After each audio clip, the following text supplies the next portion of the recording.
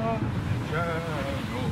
sailed across the North Sea. We sailed halfway over from Dover. That sharp Dave, Roger and me. Away they drops away.